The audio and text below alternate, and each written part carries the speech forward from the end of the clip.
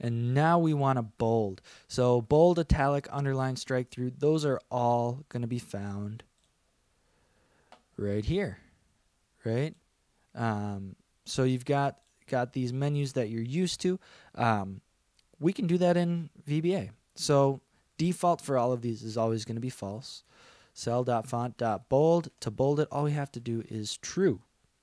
We run that and now it's bolded. So these are all booleans. You can either put false or true. Um, now let's make it italic. And we'll just set that to false. So italic equals true. Run that, and we should see it's no longer bolded, and it's now italic. Awesome. That is great. Going to comment that out. We're going to set this back to false. And then now let's underline it. So again, font dot underline equals true and you are going to see it's no longer italic and now it is underlined. And there we go no longer italic it is underlined.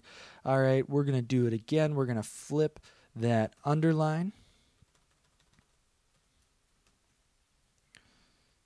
And for this cell dot font dot strike through we're going to set it so that there is a strike through.